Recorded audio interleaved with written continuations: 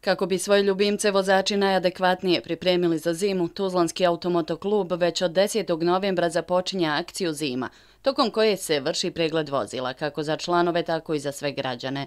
S obzirom da vrlo lako može doći do većih snježnih padavina, oluja, odnosno neprilika koje na neki način dovode u opasnost vozače prilikom vožnje vozila, priprema za ovo doba godine je neophodna. Prije svega riječ je o pneumaticima, akumulatoru te pregledu svih tekućina u automobilu.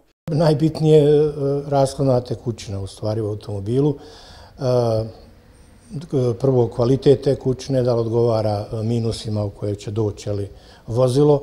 Može se desiti da dođe do smrzavanja, tada nastaju dodatni problemi do određenih pucanja unutar motora koje mogu biti dosta skupi zatim izvršiti kontrolu svjetala i svjetlosne signalizacije, e, kontrolu uređaja i opreme koje omogućuju normalnu vidljivost iz vozila, zatim provjeriti stanje akumulatora, polove i kablove, e, kontrolu uređaja za upravljanje.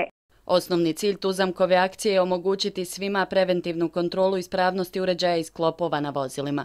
Iz ovog kluba naročito podsjećaju na preventivno djelovanje kada je riječ o akumulatorima.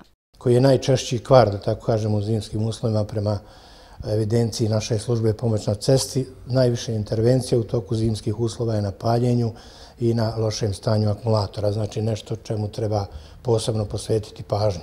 Od 15. novembra su svi vozači na području cijele Bosne i Hercegovine, pa tako i Tuzlanskog kantona, obavezni posjedovati i koristiti zimsku opremu na vozilima, bez obzira na vremenske uslove. Pod ovom opremom podrazumijevaju se pneumatici sa zimskim ili ljetnim profilom, određene dubine na svim točkovima i lanci za gume. Akcija Tuzlanskog automoto kluba počinje već od naredne sedmice i trajaće 15 dana.